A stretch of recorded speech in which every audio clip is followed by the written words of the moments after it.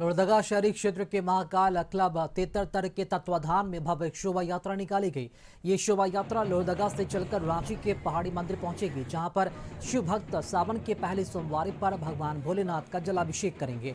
शोभा यात्रा से पूर्व एक कार्यक्रम का आयोजन किया गया। कार्यक्रम में लोहरदगा उपायुक्त डॉक्टर वाघमारी प्रसाद कृष्णा लोहरदगा एसपी हारिस बिन जमा, मंत्री डॉक्टर रामेश्वर उड़ाव के पुत्र कांग्रेसी नेता रोहित प्रियदर्शी उड़ाव विधायक के प्रतिनिधि निधिशीत जायसवाल, नगर परिषद के पूर्व उपाध्यक्ष बलराम कुमार सहित कई लोग शामिल हुए।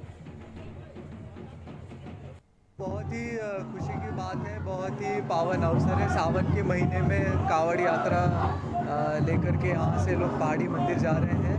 मेरी शुभकामनाएँ सबके साथ है। मैं आपके माध्यम से सबको सावन की बहुत बहुत बधाई भी देना चाहता हूँ, शुभकामनाएँ देना चाहता हूँ। और यही कामना करना चाहता हूँ कि लोहरदगा में यूँ ही शांति और सद्भाव बनाए।